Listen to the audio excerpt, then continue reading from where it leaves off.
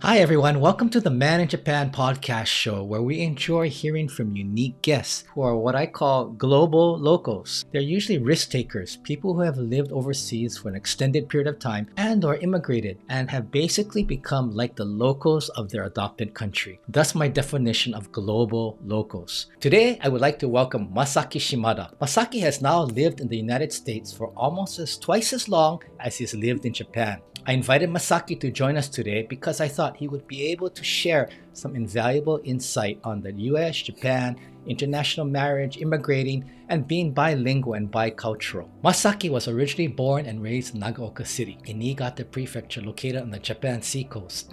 At 18 years old, he left Niigata to study in Tokyo at ICC, the International College of Commerce and Economics, which today is known as Tokyo International University or TIU.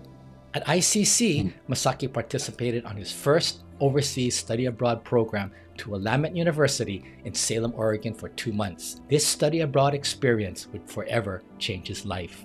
So, Masaki, welcome to the show. Thank you for joining us today. It's my pleasure. So I'm just gonna just jump into, you know, because I'm sure people are interested about how you transitioned from Japan to the United States or back and forth. You went on mm. that first two month overseas study abroad program to Willamette University. Why did you decide yes. to go on that?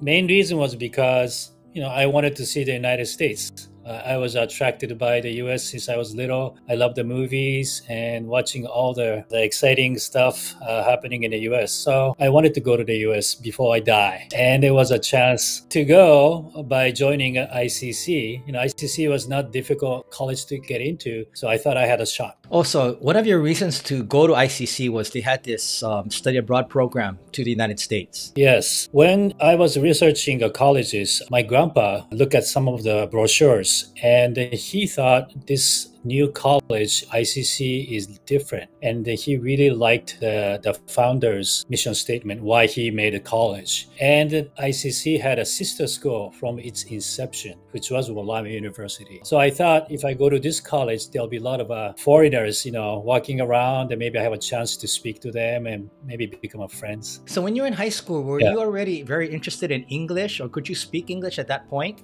no, I liked America from the movies and music, but no, my English score was really low because I didn't like to study. I just liked America. You know, I tried to study very hard, but uh, there are only, only limited uh, number of colleges maybe my academic ability could get in, and ICC was one of them. The first time I went to uh, ICC and then tried to join the club, I joined the ESS, English Speaking Society Club, because I wanted to improve. And you have to go up in the front and then uh, you have to introduce yourself in English. And I only thing I could say was my name is Masaki Shimada and I like movies. that was it. Yeah, the, there was a first uh, spring seminar Willamette exam in the fall of my freshman year. So I prepared, studied really hard for six months, and I failed. And then the following February, the group uh, left for US. And even though I failed, uh, I was a runner-up. And one of the participants, uh, who was a female student, uh, declined to join. So I got in. I was very lucky. So you got in thanks to someone dropping out. Yes. Well, if not, you wouldn't have gone to the United States. Exactly, and everything is different.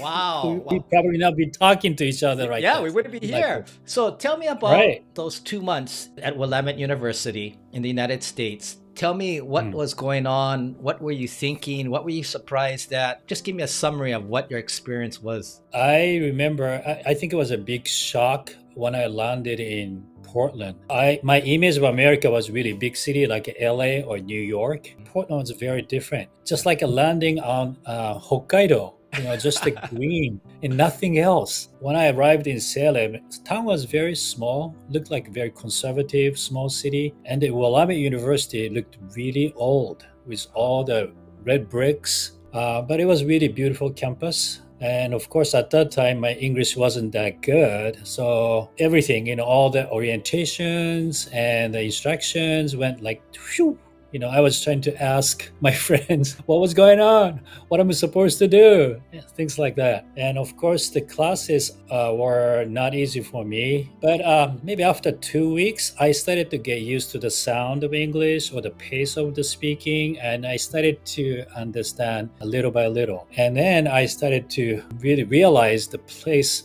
Willamette is just a wonderful place to study. You know, it's a small school, very friendly people. My thinking of just uh, you know visiting US changed to maybe I want to come back and become an American student, a foreign exchange student, studying hard and getting a degree. So that was big transition. What about like academically? Those two months was it really tough? And what about socially? Did you socialize and meet a lot of American students? Although my English wasn't that strong, I really like to meet people uh, with my broken English. So I try to go as many social event, parties, gathering as possible. So I was able to make uh, many friends particularly with what they used to call counselors. Uh, they are Willamette students. I think they are either volunteers or paid a little bit to uh, be a, like a bridge person between the uh, students from Japan and the Willamette students. So I become kind of close to some of them. You know, if you have more friends, you want to talk, you want to share, you want to understand. So another motivation that you want to study English more.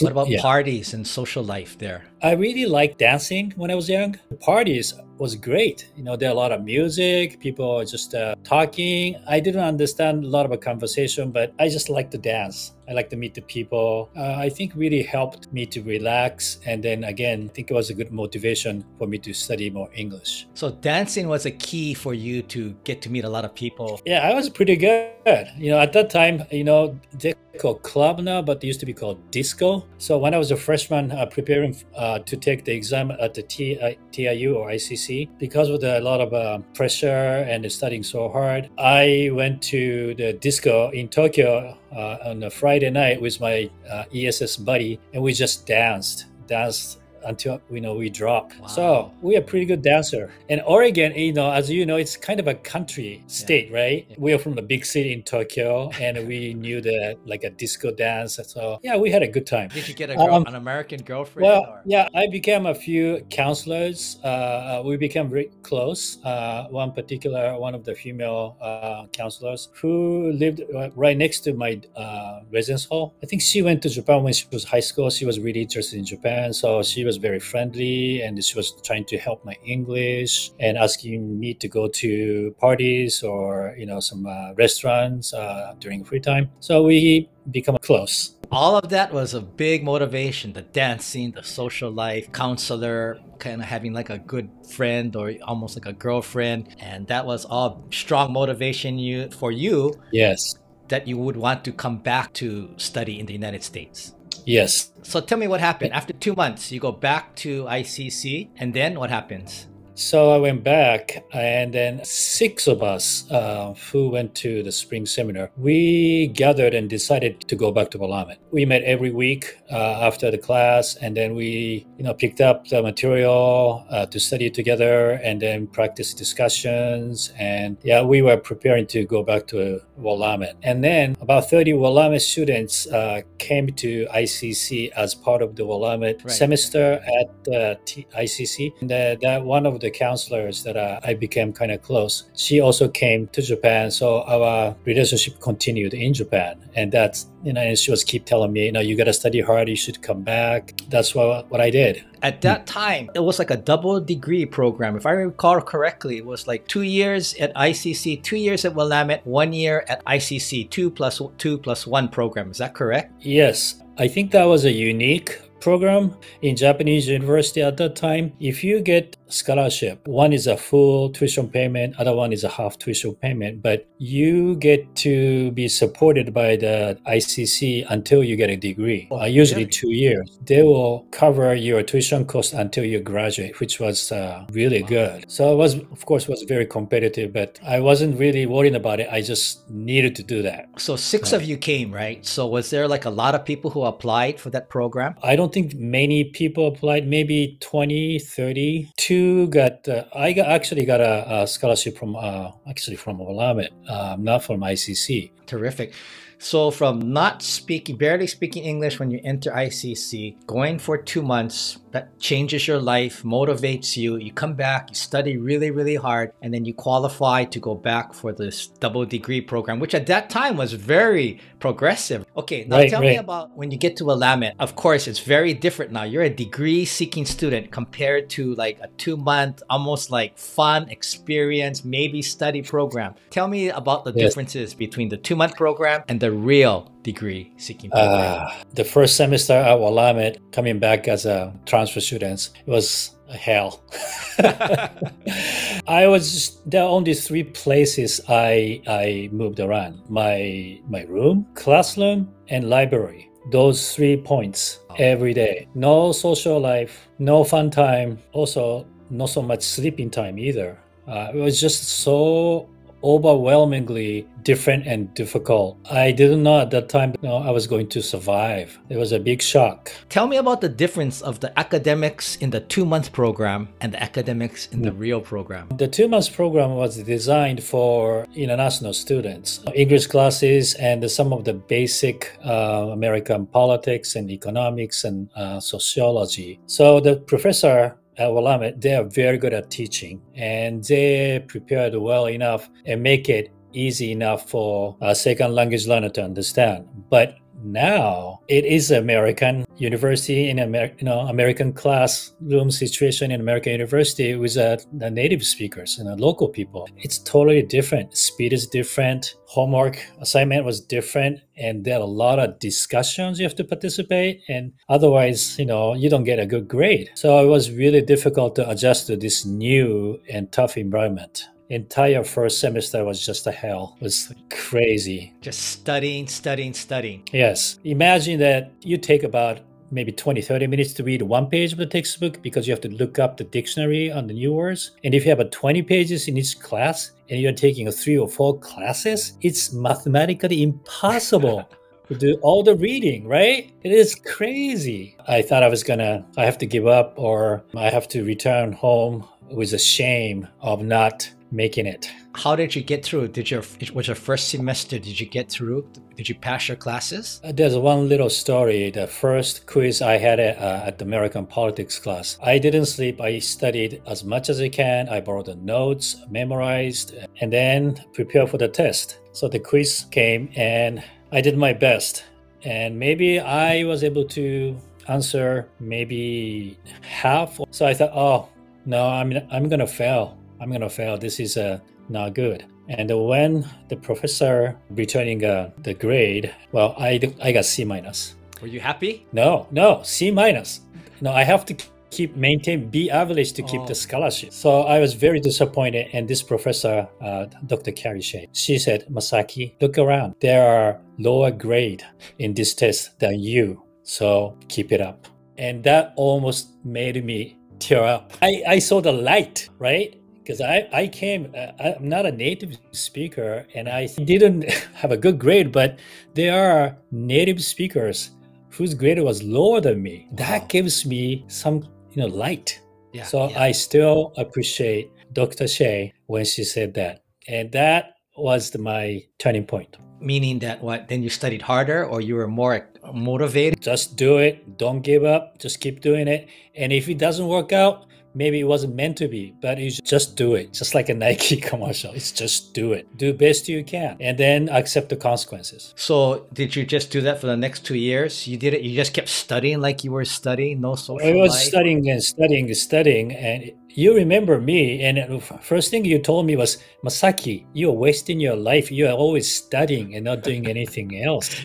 yeah. Gradually, and but steadily, I think I started to learn how to study uh, more efficiently. Um, and I was trying to be a perfect, but you cannot be perfect. If you get 80%, that's a B, right? Right. So I started to learn how to survive. I think that was necessary.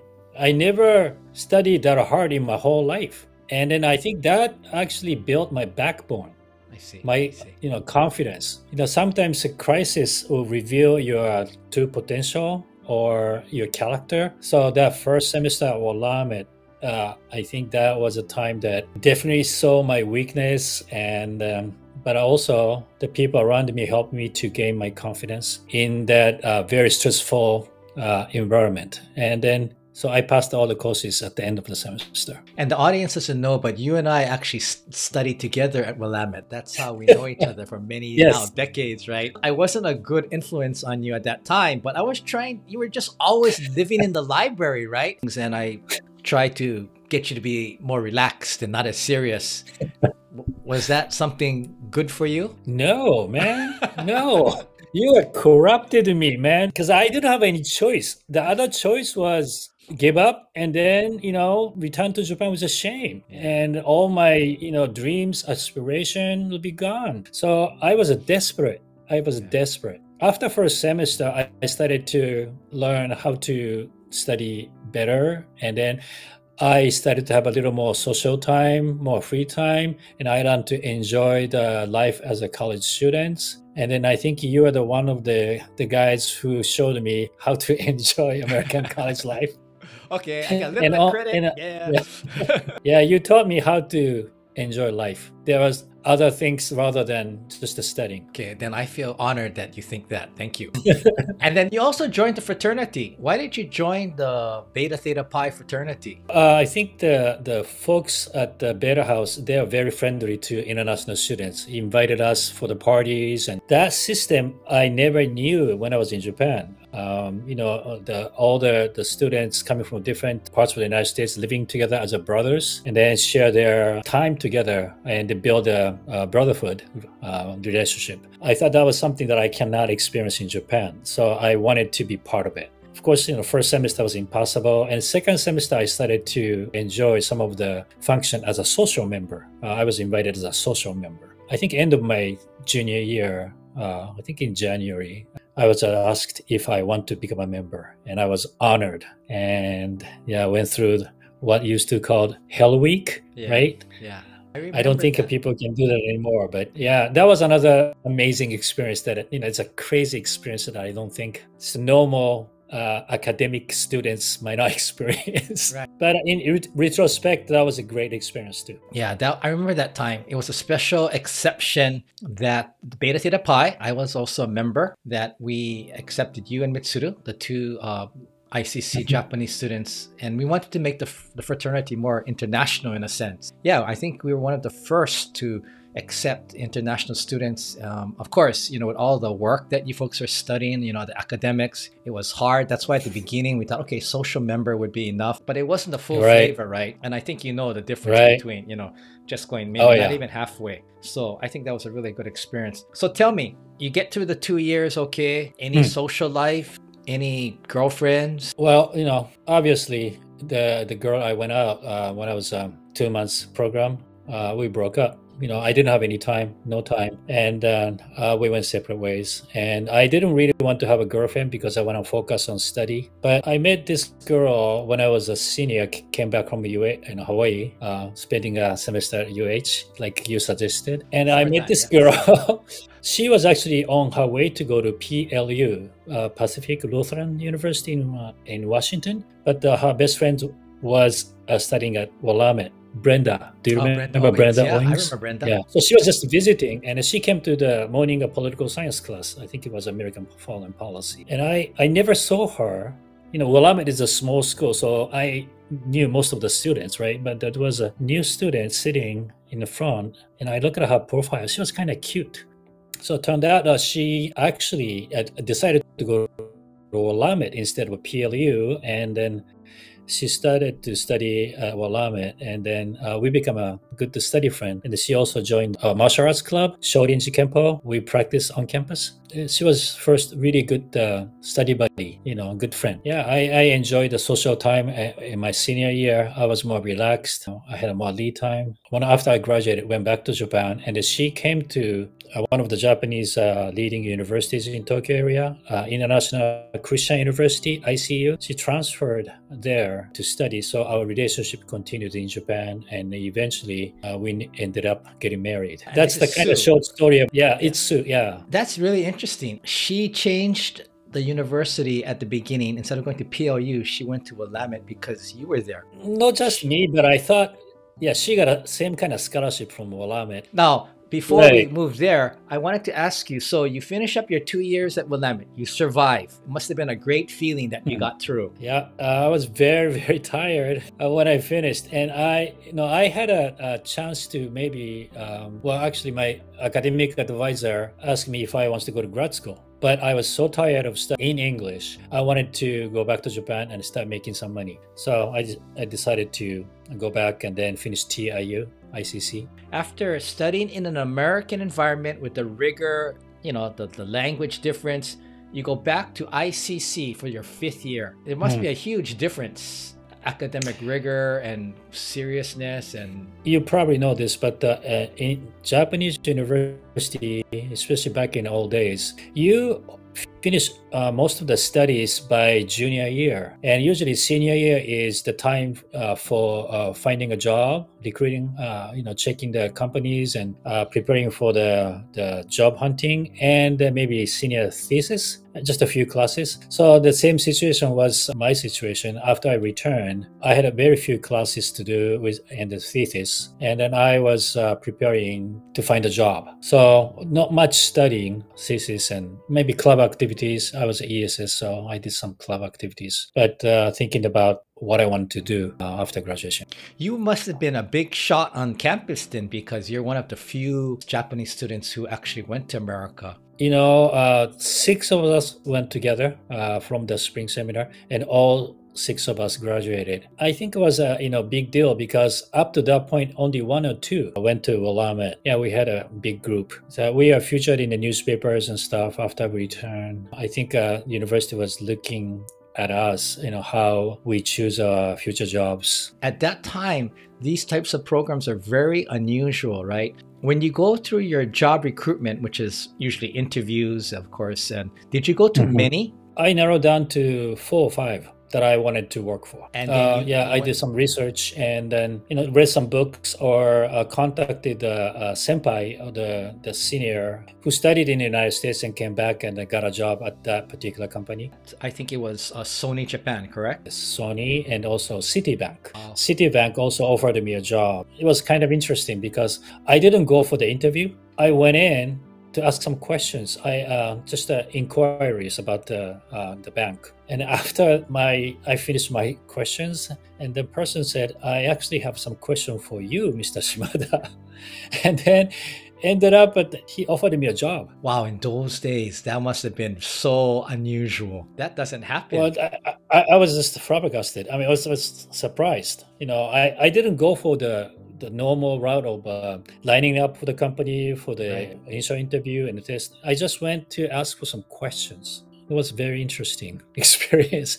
So that gives me confidence too. I only have some place that uh, some company wants to give me a job. So I, I think I was more relaxed when I uh, applied for other companies. So, Masaki, think about this then. Going to the United States and getting your your double degree in Japan and the United Mm. States Mm. had to be a really big plus for you because, you know, nothing against ICC, but ICC was not a big school then. It was a quite, quite small school. All those seniors, they would have loved to work at a big company like Sony or Citibank, but the chances are they probably wouldn't get there. But you did. Do you think it's because of the degree you had and the experience that the companies recognize? I think more or less, yes. Especially Citibank, it's a foreign bank. Right. So they're uh, obviously looking for somebody who has experience in foreign countries or, or maybe American education. So Citibank, yeah, probably. Uh, Sony, Sony was different. they they never really asked my um, like transcript it was very different. Uh, i went on october 1st which was the opening day of the uh, company visit at that time. I lined up you know get on the early train go to sony headquarters and they line up and we had a group interview uh, and then there was a i think there was total of three or four interviews and then there was an exam too but they never asked uh, to submit my transcript which was very strange And I always went as the ICC student. I never mentioned from my side that I have a degree from American University. But you know, one of the interview was English, and I remember there are maybe 20 people in the room, and one of the one of the guys were talking about um, his uh, study abroad experience. Uh, spending uh, maybe a few months, and he looked very confident in his, in his uh, conversation. After he came back from the interview, he was sweating wow. so bad. Yeah, look pale. It's kind of, oh no.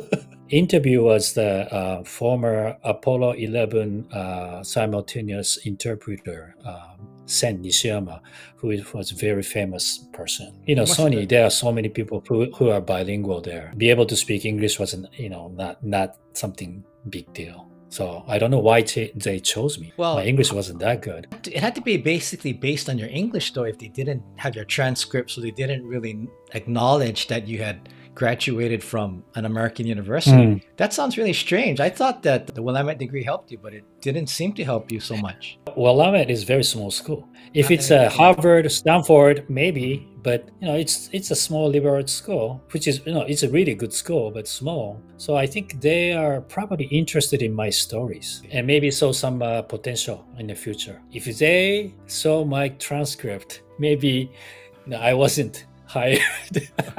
like I said, I barely made it to the BA list. I don't think people realize how difficult a degree seeking program is. It's not like exchange, it's not like a language program. I think there are so few, maybe 1% or maybe 1% of the 1% in Japan that actually do a degree seeking program. And only those people have the rite of passage that they know how tough mm. it is to really do what the typical American or Western European student is doing. So yeah, mm. kudos to you. So tell me about working. You worked three years at Sony? Yeah, a little over three years. And how was you that? Know, it was great, great company. I still have a very close contact with my um, what we call classmates, class of '81, entering Sony. There are 35 of us. You know, they came from many different uh, places, different universities. Some are from different countries. It was a wonderful bunch of guys and ladies that uh, we worked together it was a great experience. It, it was a great company, a lot of excitement, a lot of uh, uh, wonderful opportunities. Uh, I even get to meet uh, then Chairman Morita-san. Wow. Uh, I still remember his uh, voice and. Wow, he's a legend. yeah, a legend. very charismatic. Yeah, amazing person. So, what made you decide to quit then? If you have such, you had such a good job, you had such good colleagues. I was never really a business person. I think maybe that's one of the reasons. And um, I wanted to start the family. By that time, I was already married. And uh, I was thinking about family and living in a Tokyo. I don't think it was the best environment to raise our kids. We wanted to raise our kids in Hawaii, like you. I didn't see my future there. You know, when you look at uh, your company and if you look at your managers, you know, five years, 10 years from now, that's who you would be like. Yes, it's a good company and it, it's kind of prestigious too, but they're always so busy, maybe moving to overseas, coming back, going overseas. Sometimes, you know, uh, difficulty of the uh, child's education because of that. You know, all those factors uh, told me maybe this is not the place for me to stay too long. So, like I said, you know, I'm not really, I guess, business-minded person. I wanted to be a bridge uh, because of my experience and my um, background, and I thought maybe I have uh, good opportunities in the United States to do that. So you and Sue decide to, of course, return back. And why did you decide on Portland, Oregon to live? Why did you move back there? First, we went back to uh, Klamath Falls, where she, you know, my wife Sue, is from. K Falls. Uh, and then after we, yeah, K Falls. And then we uh, needed to find a job. So, of course, the Portland is the biggest city, uh, economic center of uh, Oregon. So I thought it would be a good place to uh, find a job. And what job did you find initially? Initially, I was uh, uh, I found a job uh, working for the uh, travel agency based uh, Japanese American company. they are doing a lot of um, exchanges and also one of the projects that they were doing at that time was the helping a Japanese television crew to make a, a, drama in Oregon com- called "From Oregon with Love," Oregon kara ai. Yeah, uh, the Furia Ikko-san and uh, Kinomi Nana-san, and I think they had a first uh, uh, series, and then it was popular in Japan. So they came back and made a, a special for several years after that. And I was uh, interested in that uh, project as well.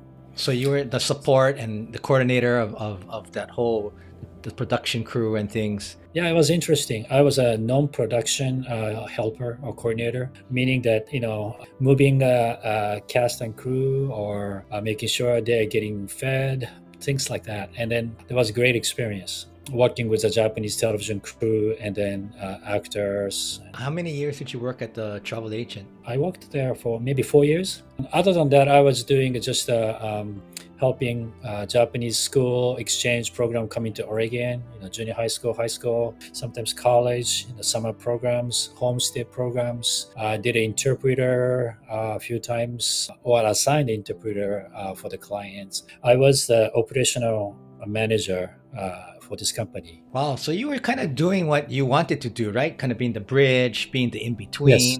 It, that all kind of fit what you wanted, correct? Yes. Okay. And I was able to, you know, visit Japan uh, once in a while. Uh, so that was great. So after four years, what made you leave the travel agency and move to what's your next job? What was your next job? Again, it was lucky because uh, through my job, I get to know some of the uh, uh, folks from Japan, including people working at the consulate or the companies. And and one day in the elevator, um, I think it was maybe I had uh, some uh, business uh, in that building, but uh, I was uh, with the one of the Japanese uh, diplomat consul, and then he asked me if I'm interested in working for the Japanese consulate, and I was kind of surprised also at that time uh, after four years working for that agency it was really busy and i was a little bit exhausted i thought i maybe can try, you know, working for the government, you know, something I never experienced and something new. I had an interview and then I was offered a job. How many years did you do that? Uh, I think about four years again um, at the Portland Consul General of Japan office. I was assistant to the consul, uh, doing most of the uh, consular affairs uh, uh, business, uh, the passport, visa, um, registration, uh, certificate. And sometimes we need to go out and then support the Japanese national who are in trouble, helping trials, sometimes unfortunate uh, death, and then we have to help family uh, of the deceased uh, coming from Japan and so forth. It was an interesting experience. Get to know many interesting people. That uh, also sounds like something that is really what you really wanted to do, right? You know, before like be the bridge, be help, support people. I think so. And what made you leave there? And what was your next job after that? So uh, when I was uh, working at the consulate, one of my uh, favorite professors from Willamette came to ask for uh, visas for you know, his students to go to Japan, and he said ICC um, now know, TIU, they are uh, building a small campus next to Willamette and then gonna start the program. Are you interested? So I said, oh wow, that's interesting, but uh, I'll kind of see how this progress or falls up. I said thank you, and then uh, I was asked again by uh, executive director of the program, and if I'm interested in joining the program. Government job was very interesting and made a lot of interesting connections, but it's kind of not very exciting a job. It got a little boring. Uh, except uh, when, when, yeah. yeah. except uh, you know when you're helping uh, actually the people uh, I see. from Japan. You know, going back to my alma mater, uh, Willamette, that changed my life. It's kind of interesting, exciting. Mm. You know, uh, and maybe I can pay back some of the amazing opportunities that the university and the people there you know gave to me. So yeah, decided to work for uh, Tokyo International University of America, TIUA, on Willamette campus. And they built it right next door to Willamette. Right. I think the land was owned by Willamette, and the uh-huh. TIU built residence hall and classrooms on that uh, land. Uh, so it was like a joint tenancy. And the whole idea was to have exchange, and most of the students who came probably wouldn't be able to take regular classes, but they would have their own program. And at some right. that were really good could do some classes on Willamette's campus and mm-hmm. have a roommate exchange, etc. Mm-hmm. Is that right? Yeah, it's a you know like a three-step program. Uh, yeah. It's a one-year program. They come in the spring, mainly focus on building their academic English skills uh, or presentation skills, and then they start taking a subject matter courses during the summertime when the Willamette is closed. So professors are available, so they can teach with the uh, English faculty supporting the classes. And in the fall, uh, it's the beginning of the new school year, Willamette and then uh, students are able to take uh, regular Willamette courses depending on their English ability. And all the credits uh, are transferable back to TIU. So even though they spend a year in American university, they can still graduate TIU in four years. And like you said, some of them uh, have opportunity to apply for the transfer uh, scholarship to come back to Willamette for degree. And what was your position there? You were like dean of students, I recall. No, uh, I started as a, a academic person, uh, assistant director of academic affairs, and then uh, I did uh, student affairs, and then I did both academic and student affairs, and then I ended up uh, focusing more on the student life, and I became uh, one of the leadership team to manage the program. How many years did you work there, Masaki? Believe it or not, twenty-eight years. Yeah, That's super long, well, man. Wow. It is, yeah. That's why I'm so old now. and you were driving you know, uh, like one hour each way, right, from Portland. Right, right. I still lived in Portland, and I thought first maybe I would change my job in four or five years, like I used to do. That was my pattern before. Right. But uh, because I think what I did was. Uh, really interesting and then fulfilling you know dealing with working with the students ended up staying too long. So i was 28 years commuting from salem every day. You know it sounds like that arena just like the rest just like the travel agency just like sony you are actually being the in between. You're helping students, which you enjoy. I can tell that your whole personality is about, is about helping people, supporting people. That's what you enjoy. That that's you know service. I think is really your your mantra, mm. and that fit you again perfectly. I would guess. That's why I stayed that long. yeah, sometimes you know it's really tiring, and especially commuting um, every day. But uh, you know when you see the new students you, when you see the some of their eyes kind of reminds me of you know or, uh, or, or me you, you know right, like right. when we're when young right they right. still have a certain hopes and you know, coming to the different environment different culture you know confused sometimes you know like disappointed lost confidence but you know there's always opportunity and i think that program also changed lives of many students and so, what made you end there? I, re- I recall it was something to do with COVID. What happened? COVID came on the 2020, right? When the you know the students come in February, so the 2020 students were already arrived they're already here on campus. And then uh, there was an announcement of a lockdown, and maybe the Japanese airport might also shut down for a while. So uh, it was so unfortunate that we have to send all the students back to Japan oh, after wow. spending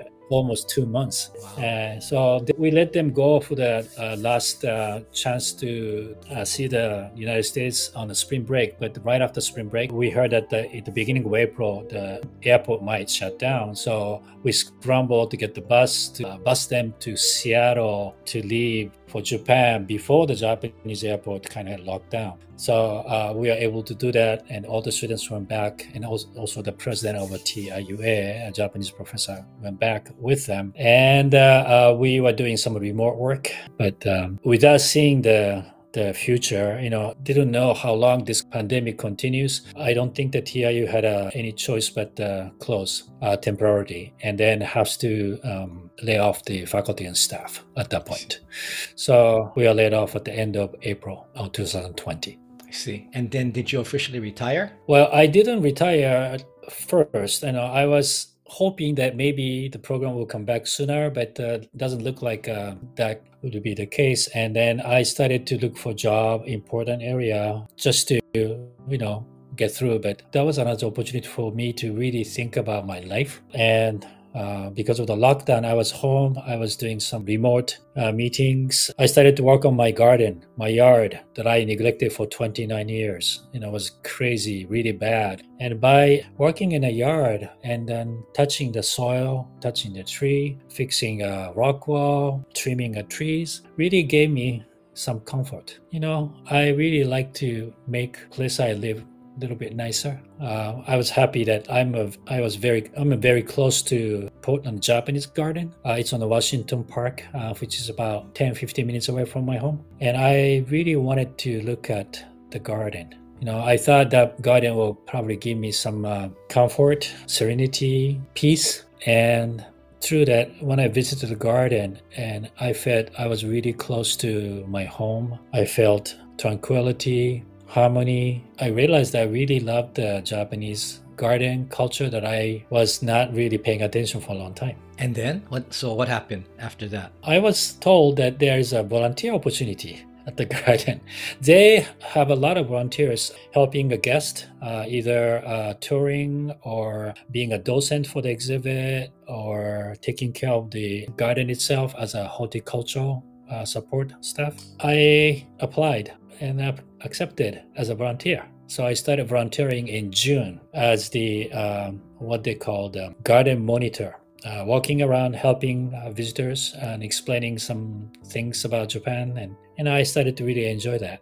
And also, I wanted to really help the garden, uh, maintaining a garden, make it nicer, cleaner, uh, and then also learn how to create such a quiet beauty. So, how long did you do the volunteer part for? I still do volunteer. I did uh, from the the June 2020 and then following year, I was offered actually a part-time job, a paying job, uh, to take care of the bonsai trees displayed at the Japanese garden. And so you took that job. So you didn't have to go back to work. So you're kind of semi-retired now. Well, yeah. After I offered a job as a part-time, I said, "Well, I'm officially retired. I just gonna do volunteer and this part-time job that took care of the bonsai." So I guess the officially I'm retired uh, 2021. Tell me about bonsai. I I, you know, we met last uh, fall, I think it was, or last year when you came for a bonsai yeah. exhibition. What made you all of a sudden become so interested in bonsai? Was it that return to nature to touch the soil? And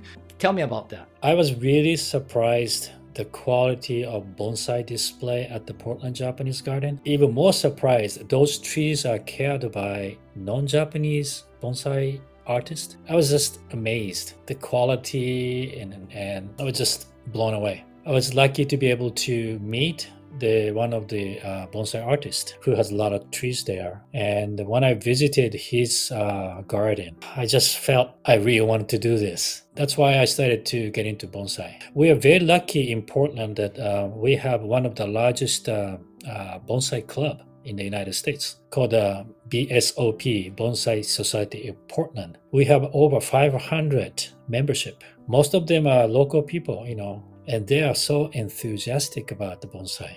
And we happen to have maybe five or six prominent bonsai artists in the United States. And also this environment, the climate, it's really uh, good for growing a bonsai you know, even in Japan, mm-hmm. I'm living in Japan, I rarely see bonsai around. Uh, maybe I'm not looking, but then you came and we went to a temple in Kyoto and, yeah. and we went to the exhibition. Yeah. Kind of opened my eyes a little bit. So I'm kind of more looking around for bonsai, but it's still very uncommon. So is it a dying art in Japan, the art of bonsai? I think they have a problem of finding a successor uh, many bonsai uh, nurseries uh, artists in Japan. I don't see its dying art now. The reason is because in recent years, uh, many Asian people, particularly from China or Vietnam, some of them are very wealthy and they also uh, love art of bonsai. You know, it's originally, you know, originally started in China Many people come to Japan and buy expensive bonsais. Some of the bonsais are sold on the auction. It's over a million dollar. So it's not rare to find a bonsai price range around you know 100,000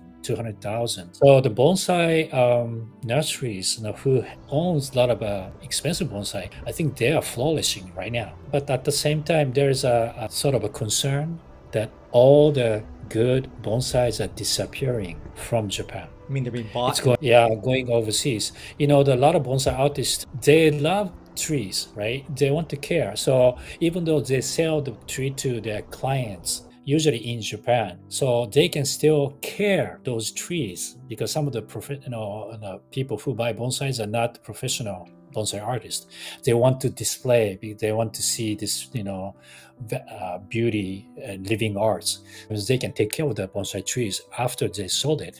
But when it's overseas, it's very difficult uh, to do that. And then um, I don't think many bonsai trees are coming back. Uh, sometimes people are just using just like any other art piece, want to have it and then maybe you know they'll survive they might not survive so uh, the industry itself is not doing bad but again i think as the japanese art form i think it's yeah they need to find young people to start get interested in bonsai so overseas bonsais are getting popular but in Japan, I think still uh, have some issues getting attention. Tell me about bonsai. Okay, so like a lot of the people, the audience that might be watching this video may think like, mm. well, what is bonsai? It looks like just a small mini- miniature tree. Maybe you can give us mm-hmm. a short summary of usually how long it takes and what the whole process is and give me some examples of some years. How, how old are some of these more expensive bonsai? Some of the bonsais are from the, you know, like Shogun era,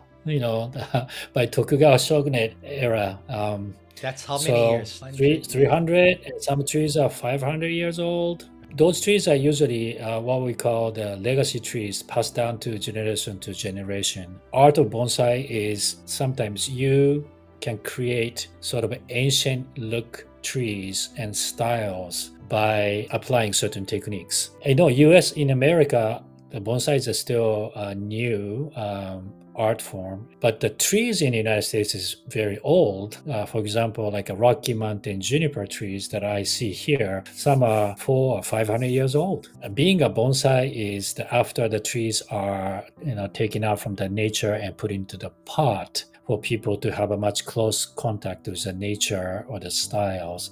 So as a bonsai, I think in the United States, maybe 20, 30 years. Bonsai in the United States is relatively young. They look ancient because of the, the technique and styles.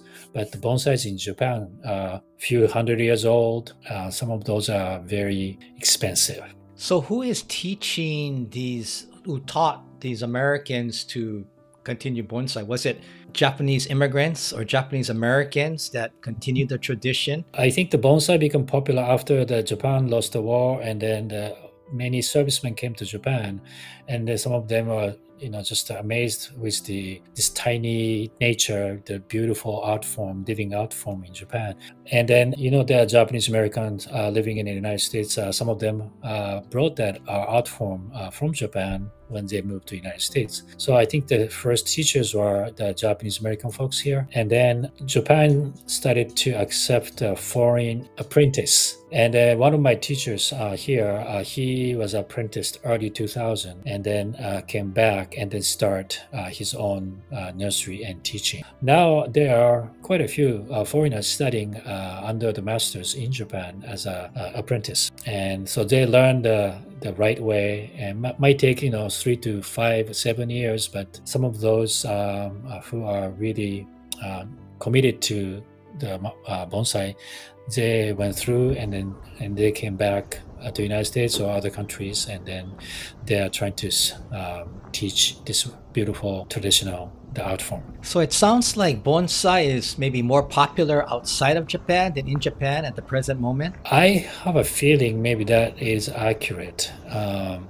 I think it's still very limited people are interested in uh, bonsai, but I think you know, overseas, I think it's more popularity uh, gaining, especially in, in, Portland. You know, like I said, we have the largest bonsai community. Over 500 people are members. The 500 are mainly Americans. Oh yeah, yeah, all, all Americans.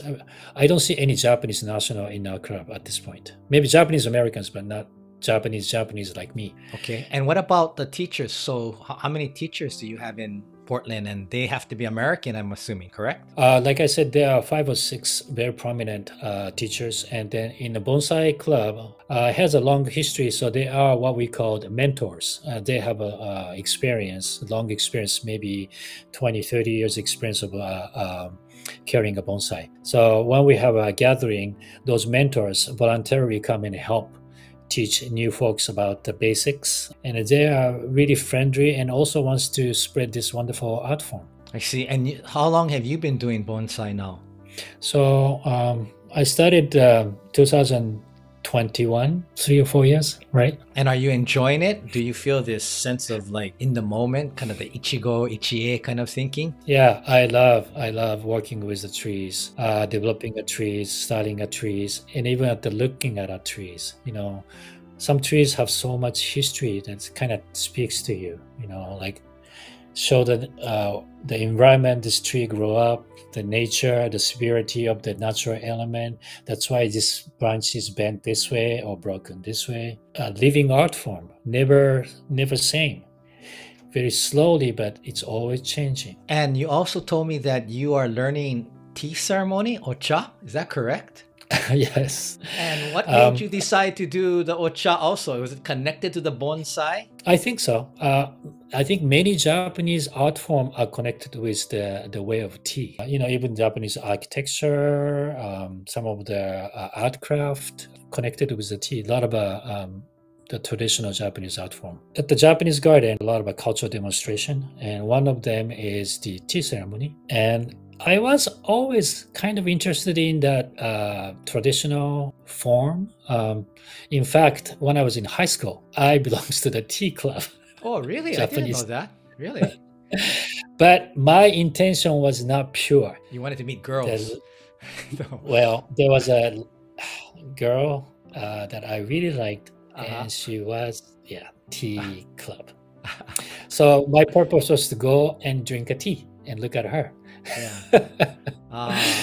But uh, so this time, um, you know, one of the t- uh, teachers, uh, tea teachers, uh, she's also American, uh, was trained in Kyoto for a long time. She's a wonderful lady. She's she's like a to me like a lady Yoda. I don't know. She has this yeah aura, and whenever she makes tea or she talks about tea, it just she grows. You know, like aura, like, like you said, aura, and she knows so much about the culture, the deep part of the Japanese culture, but she make it very interesting and fun too. Um, you know, I thought the tea aligning a tea might, must be really rigid. Maybe that's the way in Japan, but right. she make it fun. She make it more like just having tea with me this afternoon. Wow. Having just a tea and chat with me this morning, but it's part of the lesson. I really enjoy having tea with her in a conversation, looking at the scroll, you know, try to interpret how she feels, how I feel, look at the chabana, the uh, flower, and then how you feel about the season. It's just a wonderful time. It's a wonderful time. And each time, you know, of course, the tea bowl is different. Flowers arrangement is different. So, like you said, every moment when I have a tea with her is once in a lifetime and it's just just great. Wow. And because I'm a beginner, there are a lot of uh, steps, no shosa, you know, the the way to do things. So I really have to focus and concentrate, and I can block everything else when I was practicing. It's just cool. a wonderful time. Wow. So she's American, also, correct? Yes. So, the irony of your life right now is that you are Japanese, you immigrated or moved to the United States, and now you are learning the very typical traditional old arts like bonsai and ocha, probably two of the more older, more traditional type arts from Americans. You, who are Japanese, are learning from the American teachers. Is that correct? That is correct. But, you know, I don't think it's unique because the, my teacher's are American. Whoever master the art, you know, whatever the nationality, if you put your time, energy, dedication, and then become a master, it doesn't matter who you learn from. Yeah, I understand. Maybe, it doesn't matter. Maybe just the communicative language is the English, yeah. but no, it doesn't matter. But it's just to me so ironic that you would come all the way to United States to learn Japanese art from an American instead of just learning. You know, like most people would just learn in Japan or would come to Japan to learn. But that is well, so interesting. I wasn't interested in those things when I was young. You know that, right? Yeah. I was looking at America West, you know, yeah, disco, yeah. movies, dancing, yeah, yeah, and surfing. Well, surfing is also my therapy too, but mostly looking at the Western culture. And I was admiring the, you know, the liveliness and excitement. And then um, now I'm uh, started to get settled. You know, I have a more time to think, more time for myself, more time to ponder because I don't have to work.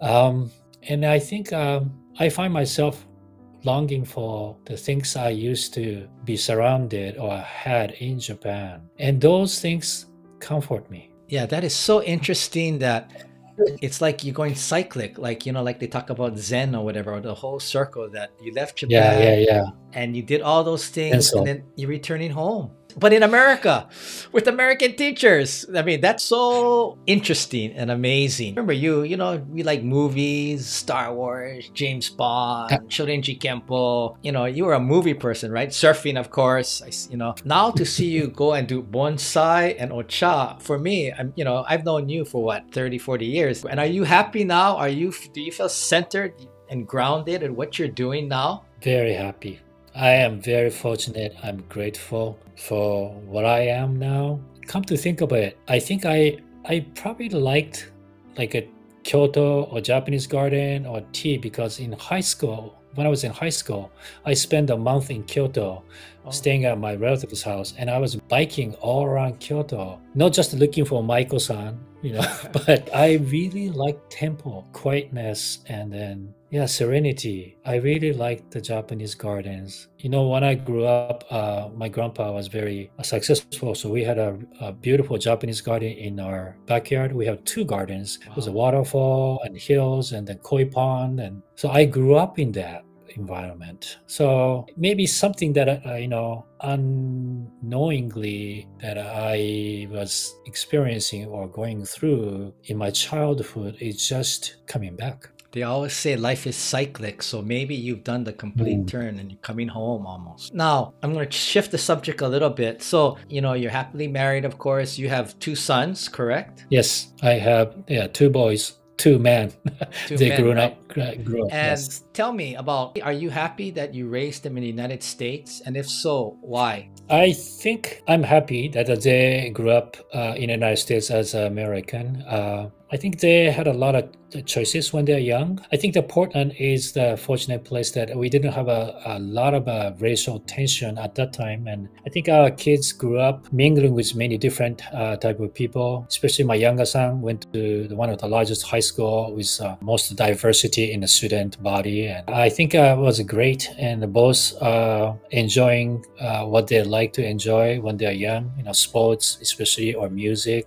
And then, then they chose their own path and happiness and then they're doing great and most of all they are, are nice people and which made me very happy only regret i had was that i should have sent my boys uh, to japan more often when they were young so they could play and connect with the, uh, my relatives in japan when they're young you know they were kind of busy even in the summertime on the sports and then uh, other um, interest, but lucky to have two wonderful boys. I think it's mainly because of my wife. I think she is the rock. She is the key. No, I wasn't around. You know, I was working. I was working in Salem every day. Now, tell me something. When you when you communicate, do you communicate in English or Japanese? Because I know Sue's Japanese is very very good. Mostly, you know, like a daily conversation, just uh, a lot of a Japanese word are used. But when we talk about uh, like a more discussion topic, probably English. And did you teach your boys Japanese or did they just end up speaking uh, English? When uh, Yoji was born, uh, Sue and I decided to speak only Japanese at home because outside is all English, right? So uh, his Japanese was really good when they were uh, when he was young.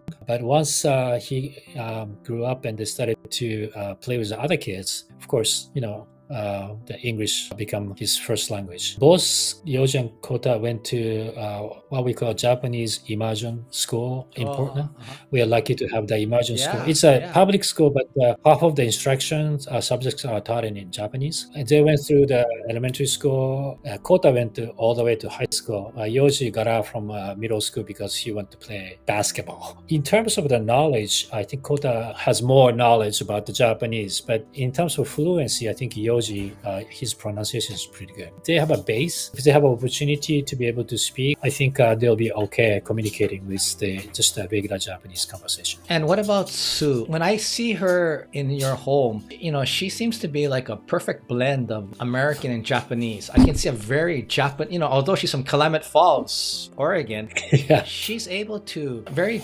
Japanese like, you know, the, the way she integrates or interacts with people. Um, Right, right. how did that happen? Did she learn that from you, or was it just in her DNA that she had this? Because the typical American person would have a hard time making that adjustment. Not everyone can do that. I think it's a little bit of a both. I think it's her character and also maybe life with me too. Do you think you had the American dream where you immigrated to America and you have all the success and happiness that you have ever thought that you would you could have? I don't know. You know, it's, people define a success a different way. If the success to me is to be happy, I'm very successful and I'm very happy.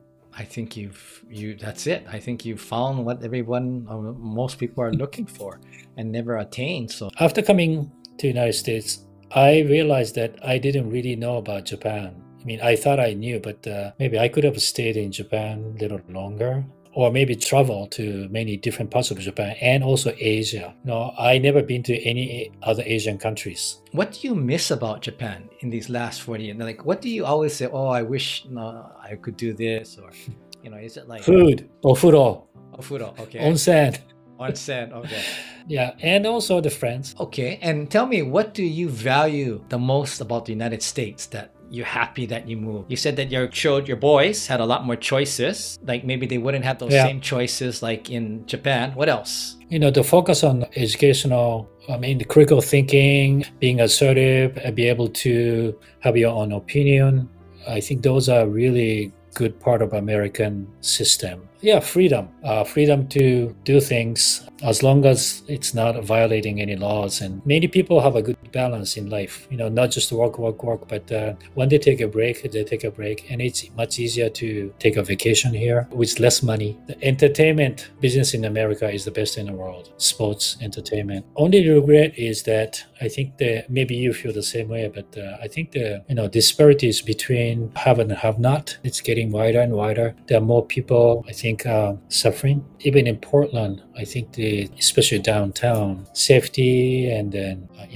is maybe more intolerant sometimes more violent. Used to be more relaxed. It's something is different. You know it's kind of a negative vibe. I feel more not just in the united states but you know maybe world as a whole you know like a conflict in other parts of the world just the actual war is happening and Yeah, I mean, even for me, living in Japan, I think one of the, the most important things for me to live in a society is safety, right? That you don't always hmm. have to worry about your things being taken or stolen or you being hmm. mugged or robbed, you know, hmm. somebody being mean or cruel or, or whatever to you. At least Japan overall is still very safe. Uh, people are honest usually. You know, you can still get your things if you drop or lose them. You don't have to worry about, you know, being mugged or things getting stolen. I mean, the best things about Japan. I think Japan is a good country to live when you are older. Ah.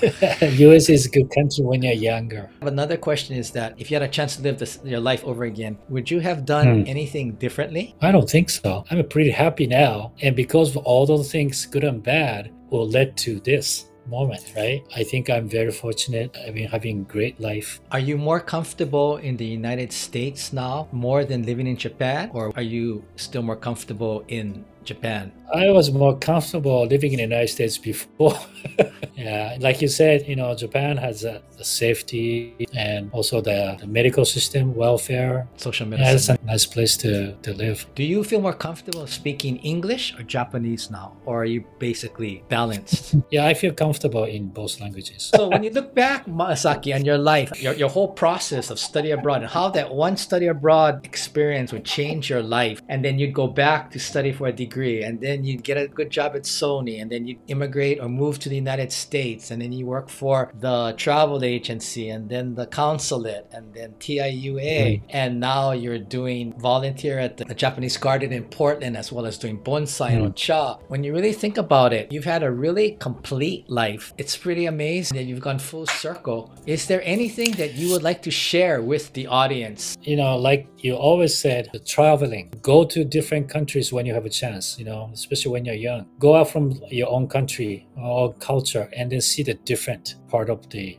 earth, you know, and meet people. I think it's, it gives you a lot of uh, impact and maybe will help your life. And I you know, was my case that I came to the United States and then I realized uh, a lot of things about myself. I'm very, very fortunate. I think I'm blessed with the people surrounding me, my friends, family. They're always supporting me, helping me, sacrificing for me to be happy. I think a lot of people know they want to travel, but maybe they think about it when I retire or whatever. By the time you retire, it's a little bit different. If you can do the Mhm. traveling when you're young and get those Mm. experiences, it really changes your whole mindset. I mean, look at you. Right, right. Your whole life was changed, right? My life was changed. I came on that Willamette program to ICC, and look where I am. I'm still in Japan, and it's kind of funny. I'm Japanese American. I'm from Hawaii. I'm a fourth generation Yonsei. You're Japanese. You end up in America. I, as an American, end up in Japan, and we both were Yeah. influenced by a study abroad program that would Right. change our life. So basically, study abroad, Yes. travel. So